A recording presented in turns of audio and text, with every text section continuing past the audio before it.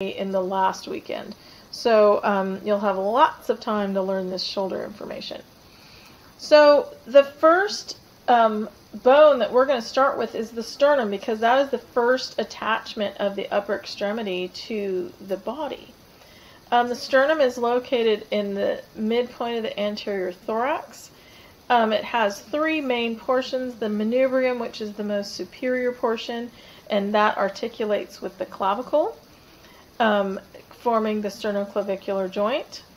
The body is the middle portion, and it's the anterior attachment point for ribs 2 through 7. And the xiphoid process is the inferior tip of the sternum, and xiphoid meaning sword shaped, in Latin, of course. Manubrium is also a Latin word, and it means shield. Um, and it makes sense when you look at the shape of the top of that manubrium. So the sternum is a landmark for a lot of things. As all of you know, it's a landmark for um, CPR. That's where we put our hands when we're doing chest compressions.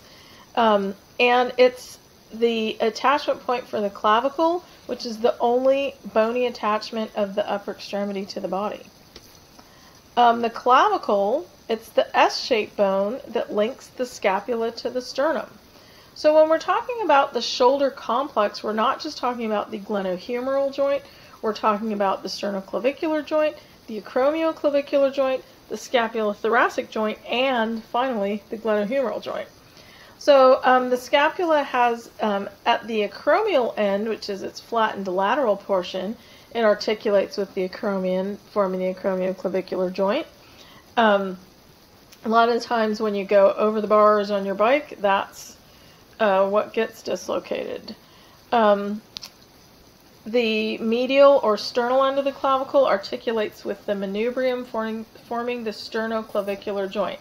So the thing that I always remember, and I don't know why, but this is sort of a silly thing, but um, in the Middle Ages, when knights were fighting with swords, um, the devastating move um, to take out your opponent was to um, get him on the clavicle to break his clavicle is really what they would do, and that he would lose the use of his sword arm. And um, so, if you think of the clavicle as being the only bony attachment of the upper extremity to the um, body, that totally makes sense, right? So think about your medieval knights and um, your clavicle being your only bony attachment, and you'll know why that was the devastating move when in uh, medieval combat. The scapula, um, one of my favorite bones. I work with it all the time. Um, it's a highly mobile, triangular shaped bone.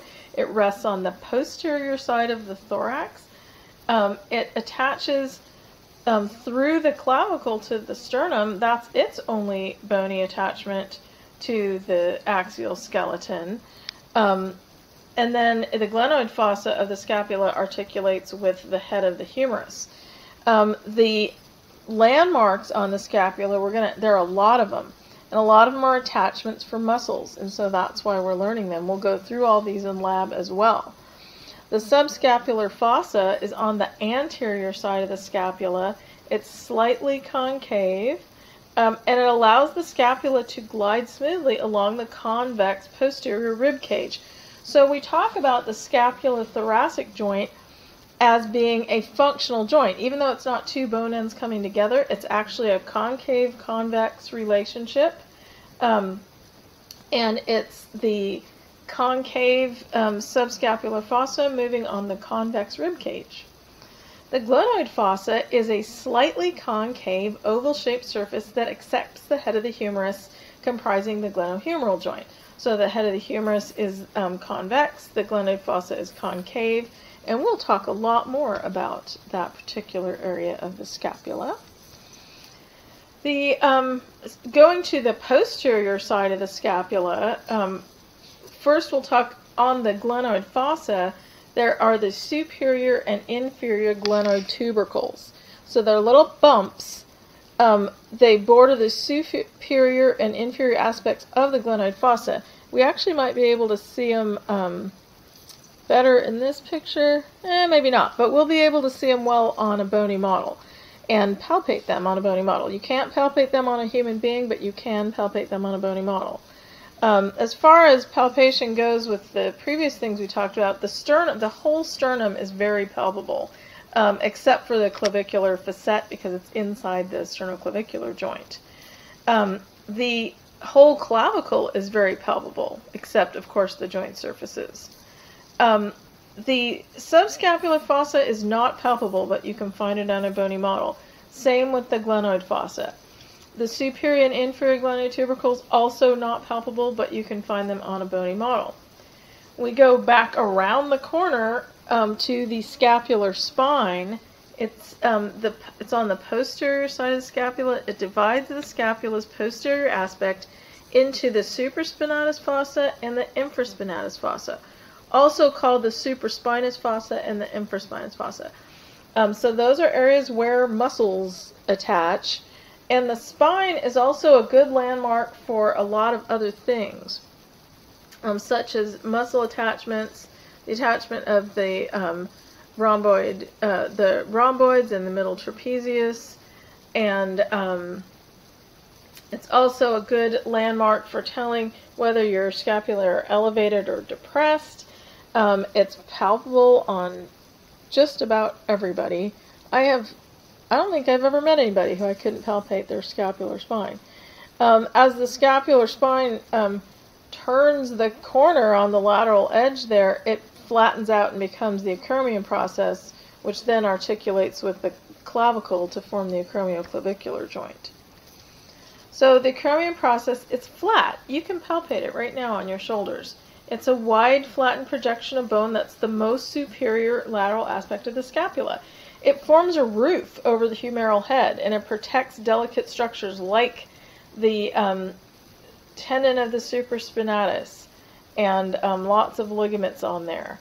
So um, it's a functional roof, but that in that respect it closes things in, and so it's often an area for impingement, and we will talk a lot about that.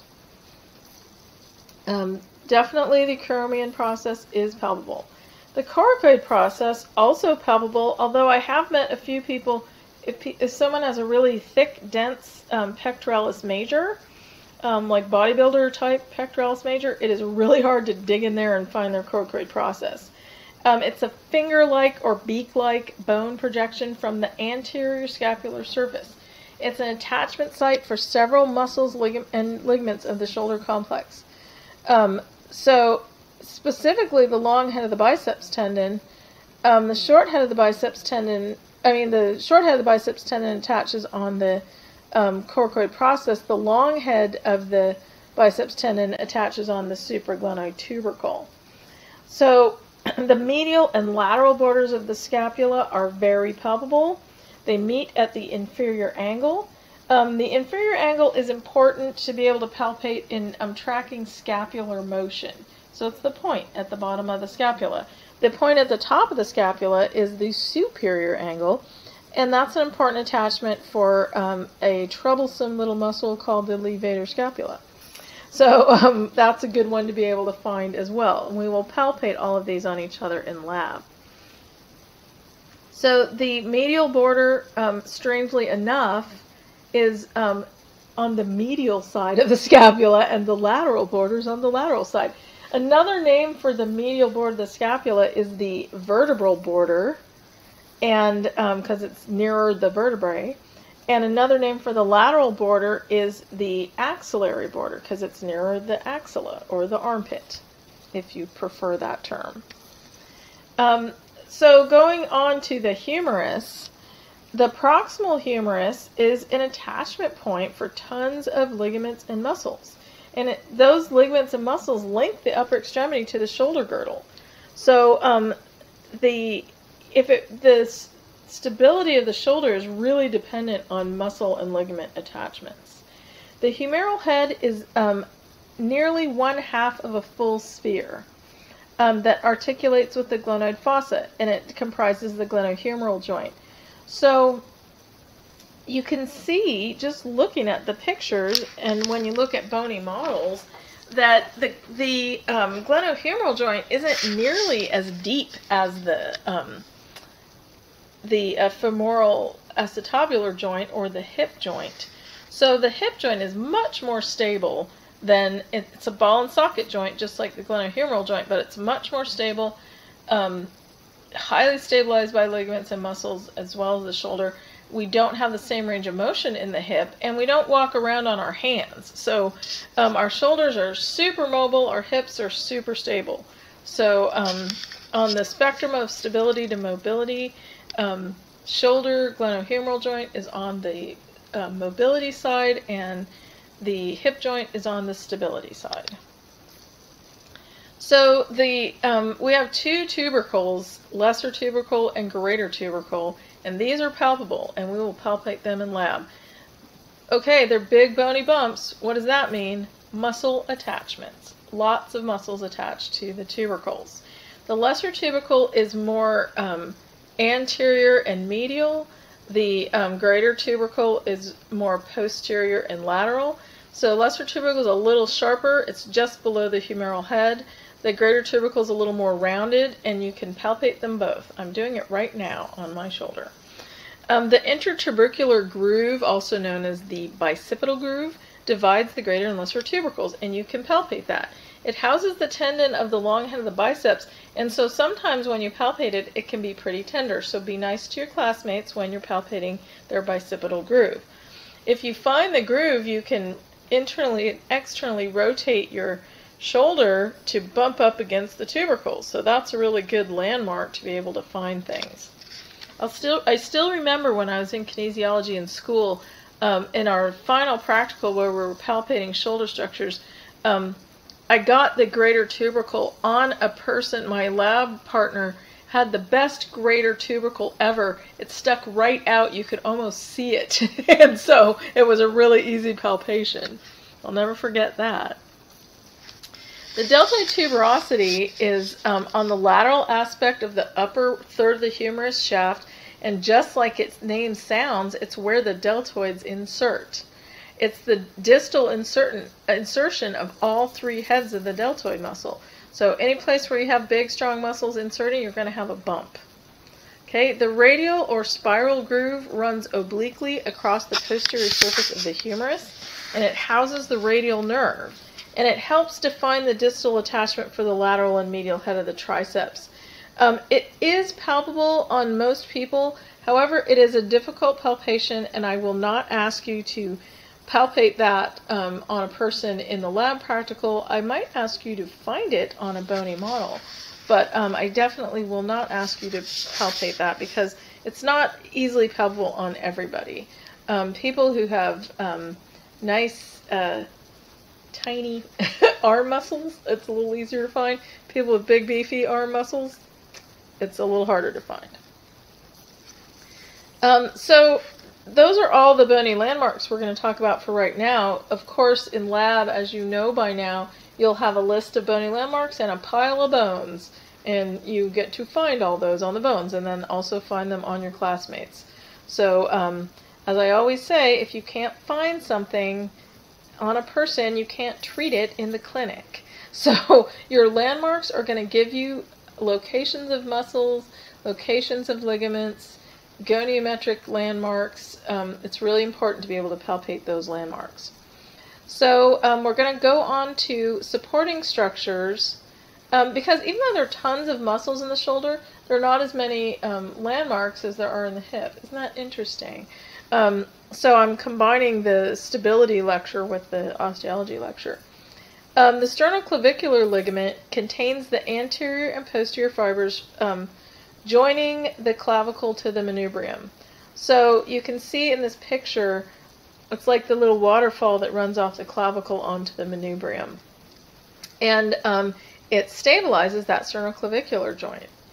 Um, the joint capsule surrounds the entire joint like shrink wrap, like our other joint capsules, and it's reinforced by the anterior and posterior sternoclavicular joint ligaments. Um, so a lot of times we have ligaments to back up our joint capsules to reinforce them and stabilize them. The interclavicular ligament spans the jugular notch at the top of the manubrium and connects the superior medial aspects of the clavicles. It limits clavicular depression.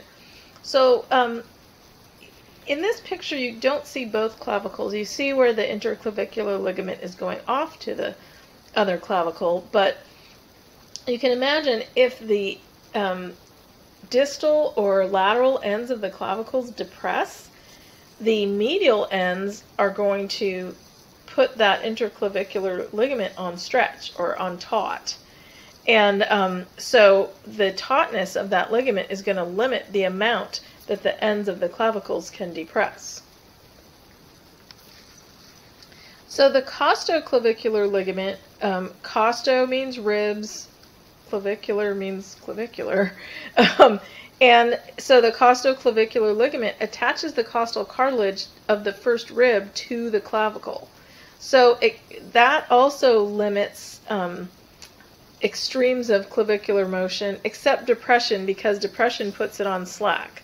But um, elevation puts it on stretch, and um, the uh, really the you see the ligaments around the clavicle are pretty short because there's not a lot of movement in that joint. The movement you have is important though. I've had people who have um, shoulder restrictions, glenohumeral restrictions, and also um, sternoclavicular restrictions. And if you mobilize that sternoclavicular joint, you can often get better glenohumeral motion because that's the first link in the chain, right? There's an articular disc in the um, sternoclavicular joint that absorbs shock between the clavicle and the sternum and helps improve joint congruency. So you can imagine anytime if you're reaching out to catch something or stop yourself with your hands or you're doing push-ups or any number of things that we do with our hands, um, somebody um, wrote in their in one of their learning reflections about um, picking up their child that puts a lot of stress on the sternoclavicular joint. So um, the it's nice to have that disc to absorb the shock between the clavicle and the sternum. So the acromioclavicular joint has tons of uh, ligaments, um, or you know, it has a lot. We'll just say um, ligaments mostly are great because they tell you where they go to and where they go, you know, to and from. So acromioclavicular ligament, it goes from the acromion to the clavicle. Joins the clavicle to the acromion, helps prevent dislocation of the scapula.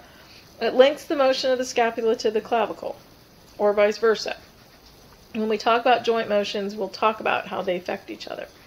The coracoclavicular ligament, so it goes from the coracoid to the clavicle. And there's also a, a coracoacromial ligament, goes from the coracoid to the acromion. Um, the coracoclavicular ligament, it's composed of two separate ligaments, the conoid and the trapezoid, and together they form that um, coracoclavicular ligament. And basically, they're the little hooks that suspend the scapula from the clavicle and they prevent inferior acromial dislocation. So you can see when the acromion is pushed down, those um, ligaments are on taut. They're um, preventing the dislocation of that acromion process. So um, the articular disc, there's an articular disc in the acromioclavicular joint as well to improve joint congruency and absorb compressive forces. They're those fibrocartilaginous discs, just like our intervertebral discs, um, except they're smaller and not as structured. But um, the coracoacromial ligament, which we saw on the last slide, that the diagonal one there, um, attaches the coracoid to the acromion. It's part of the coracoacromial arch, that functional roof that protects the head of the humerus. So we have a lot of muscles that support the glenohumeral joint. The rotator cuff muscles, which we'll talk about in detail in the um, muscle section, but they surround the humeral head actively and they hold the humeral head against the glenoid fossa.